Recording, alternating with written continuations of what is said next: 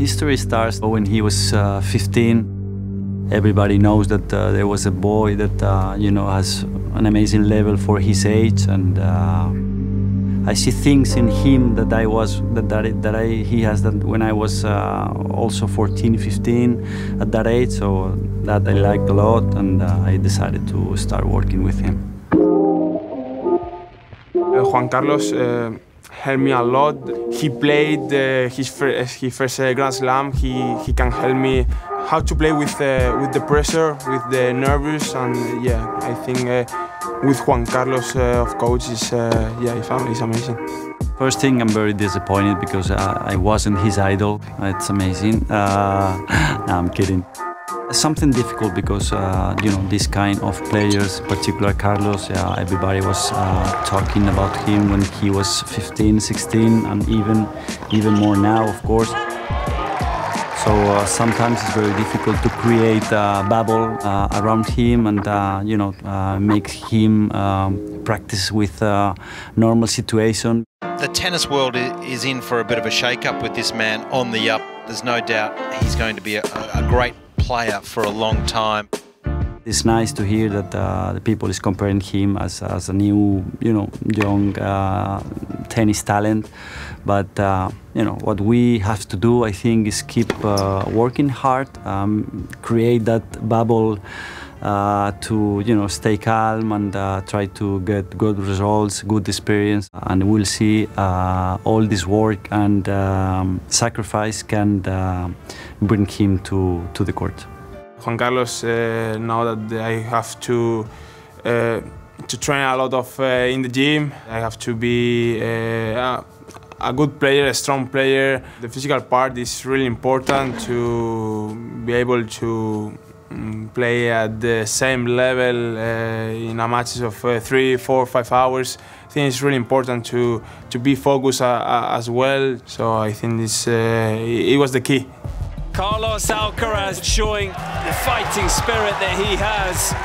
Yeah, well, uh, my favorite shot or my best shot is the, the forehand, and I try to play with my forehand every time. Breathtaking from Alcaraz. Simply stunning. Yeah, his best shot, I think, his forehand. He's very natural and uh, he, you know, he, he pushes through the hand very easy. I like also the most uh, the naturality that uh, he's going to the net and finish the points in there because it's very difficult to see someone that is very young to do this kind of things. Absolutely stunning from Alcaraz. Uh, he's starting to manage the pressure as a natural thing that uh, you're gonna have on the court before before getting to the uh, important moments, and uh, he's maybe he's telling that he's wishing to to face some of the important names on the draw. So that means that uh, he wants to be there and compete and, and and, of course try to enjoy and win the and, and win the match. So I think he's he's completely 100% ready to face whatever it comes.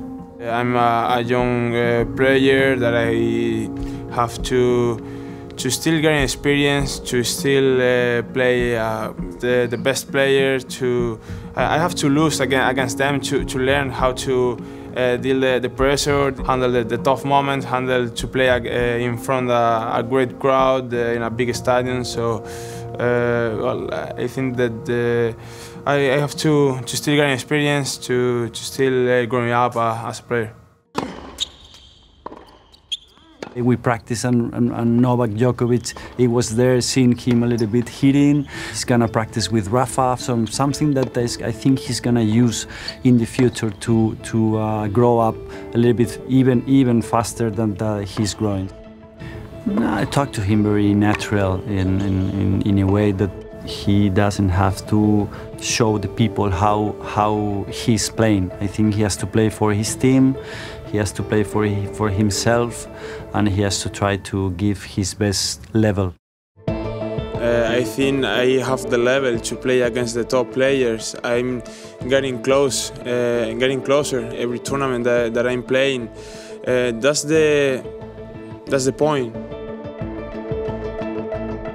Be able to to be part of the top players. Uh, I, I have the level. I'm playing really well, so I think I, I'm ready for that.